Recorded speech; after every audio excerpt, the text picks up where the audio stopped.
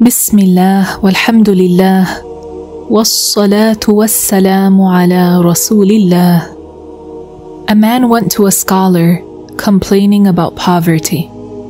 So the scholar spoke to him with words of edification.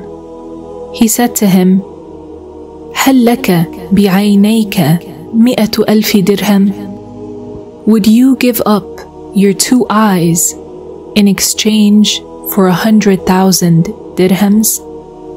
So the poor man said, La, no. The scholar said, Fabiyadaik, what about for your hands? He said, La, no. He said, Fabirijlaik, what about for your legs? The man said, La, no. So the scholar said to him, سبحان الله أرى عندك مئات الألوف وأنت تشكو الفاقة سبحان الله I see that you have hundreds of thousands yet you complain of poverty At times one of us does not realize the great value of an endowment they have an endowment they see or use every day, except if it is lost. The believer should not be like that. We should thank Allah the Exalted for the endowments He has given us, whether that endowment was perceived as great or less than that. And the obligatory thanking of Allah is by not using the endowments He bestowed upon you in disobedience.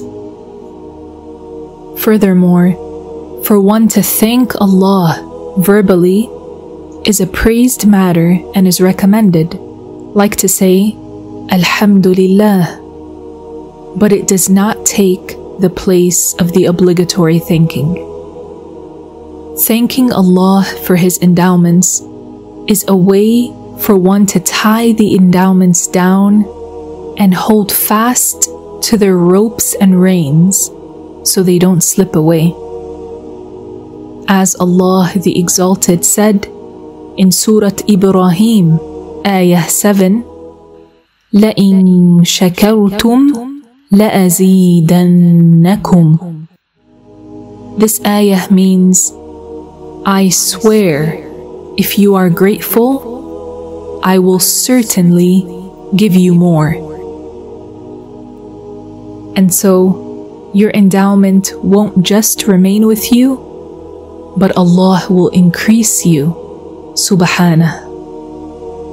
والحمد لله والصلاة والسلام على رسول الله and Allah knows best.